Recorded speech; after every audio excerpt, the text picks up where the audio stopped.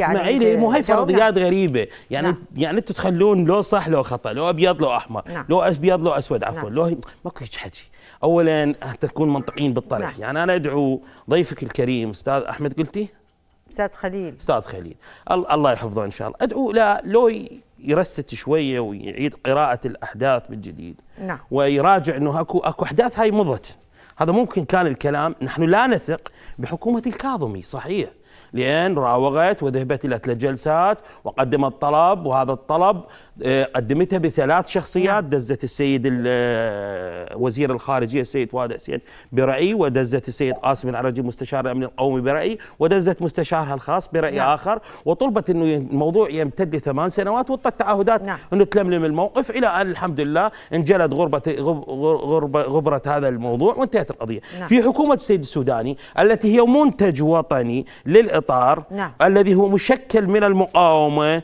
ومشكل من القوى السياسية الأخرى. وحز حتى حزب الدعوة مقاومة. السيد المالكي شنو؟ رجال تفاق أول يمس ذب سلاحه على مود يحفظ الأمن الدولة العراقية ويأسس. هذا موضوع طبيعي جدا. ماكو ماكو حالة انسلاخ ما بيناتهم.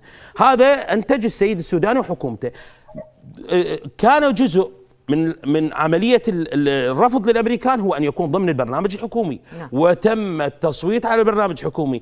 أصل التكليف لرئيس الوزراء مو تس آه، ترشيحه. نعم. أصل التكليف التصويت إلى برنامجه. صوت على برنامج فيه إجلال القوات الأمريكية. ذهب للتفاوض مع الجانب الأمريكي لفتح الجلسات. نعم. من ضمنها يا بهدئوا الأجواء. يا بهدئ الأجواء. لا صار قصف ولا استعدينا واحد ولا ضربنا. رغم إنه بحلقنا دم ومقتول حج قاسم وأبو مهدي رحمة الله عليه. و- و- وقاده عسكريين ومضروبين في داخل بغداد نعم. ومضت الأمور بالاجراءات القانونيه والسيد فاق زيدان متبني هذا نعم. الموضوع بإجراءاته و- وثبت إجرام س- ترامب في هذه القضية نعم. هذه كلها هذه القضية إلى أن جيت أنت بمعادلة أخرى نعم. هذه المعادلة أنا بالنسبة لي كدولة عراقية ما أقدر أسكت عن استهداف مباشر لهويتي الوطنية وهويتي العراقية لأن أنا رافض للتطبيع ومجرب التطبيع أن نعم. تستهدف غزة وهذا موضوع صريح السيد السوداني بروسيا حكاها في مؤتمره وحكاها في مؤتمر الخليج وحكاها في القمه العربيه.